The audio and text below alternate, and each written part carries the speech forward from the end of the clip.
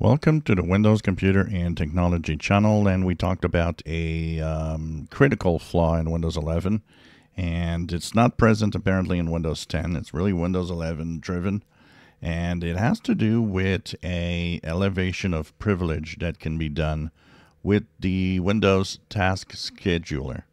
So apparently, a carefully crafted app with code uh, that triggers this uh, would take control and elevate its, um, of course, uh, its security privileges to the admin level and the highest level possible so that they um, can take control of your PC, do what you want, inject code.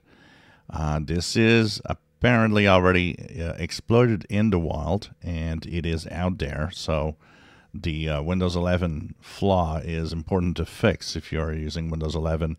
Do update your system to Windows 11 um, with the security patches, as this is a big one.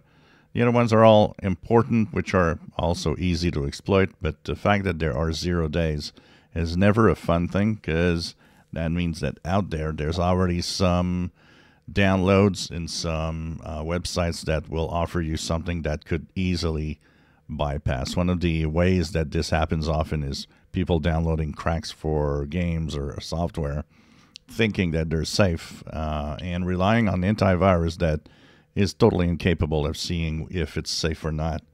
And uh, then they get bitten because they click on it and it starts, you know, creating havoc on the system. So uh, this is one of the uh, elevation of privilege, the uh, the zero days. There's actually in the Microsoft products four zero days this month.